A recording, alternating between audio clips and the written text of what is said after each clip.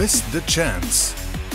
After his crash at Saturday's qualifying, Spanish pilot Hector Lopez and his team worked all night to get their boat ready for Sunday morning's qualifying race and their last chance for one of the five remaining starting positions for the Portuguese Grand Prix.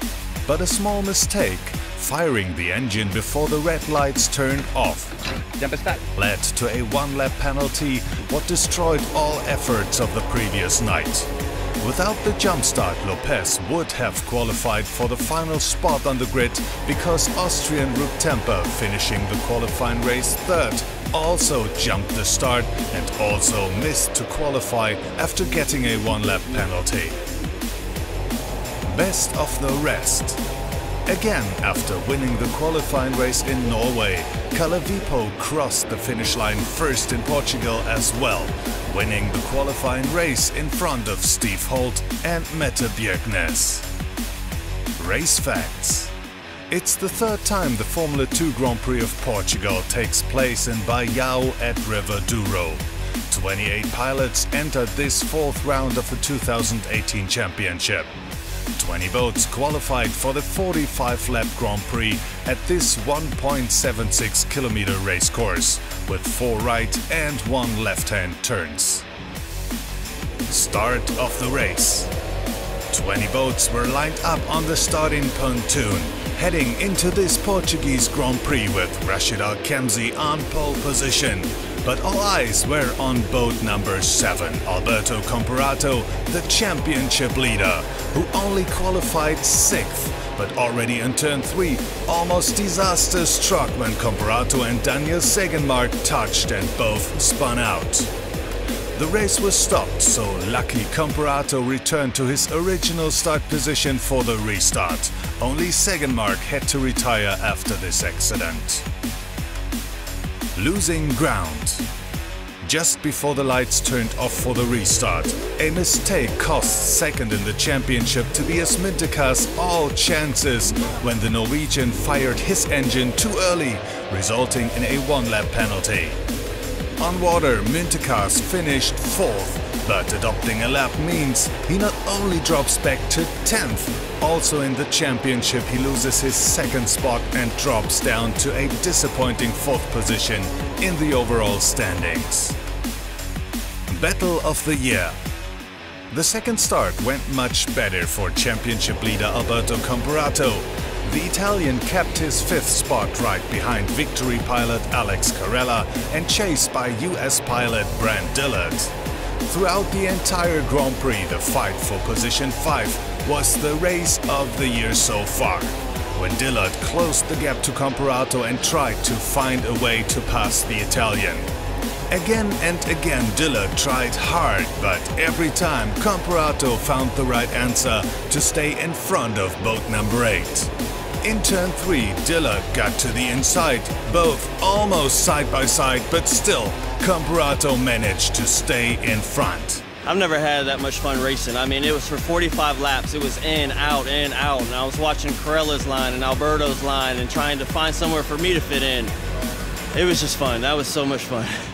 But it got even better when in the second half of the race Comparato even closed the gap to Carella on fourth, making this a three-boat battle for positions now. Dillard still trying hard to make a move on Comparato, while the Italian trying to get past Carella. It was close racing to the finish line, with Dillard still trying everything on the final meters to get that fifth spot. At the end, Carella finishes fourth and Comparato kept Dillard behind, finishing on fifth, Dillard sixth. It was fun, but I think about the championship, so I could overtake uh, Alex, but I didn't take the risk.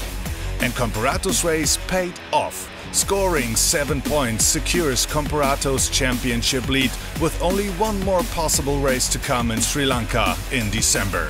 Yeah, it is okay because I take the points and we'll see if uh, there is Sri Lanka or no because we still don't know. Getting closer. With Tobias Minterkas only finishing 10th in Portugal.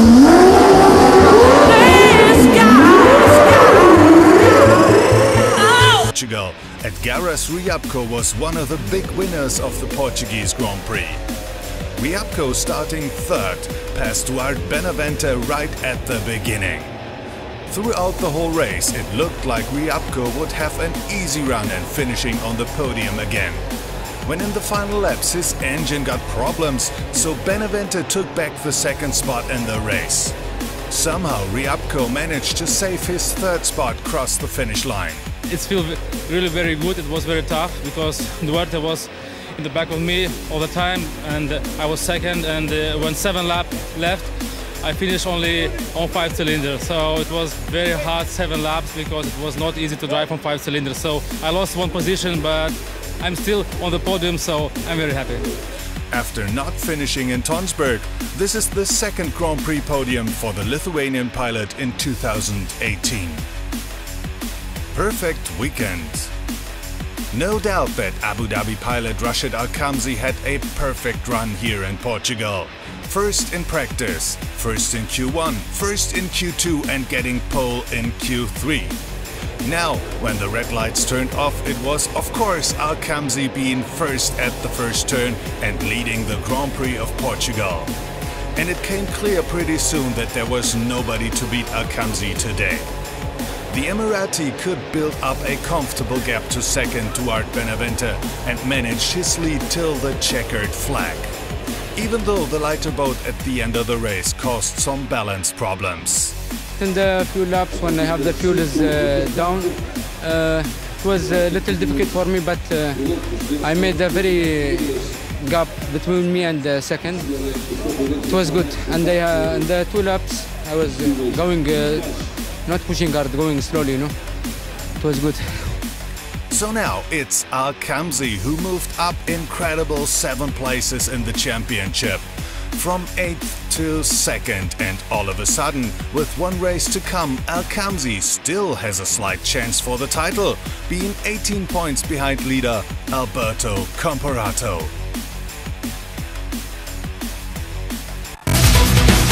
Wow, wow, wow.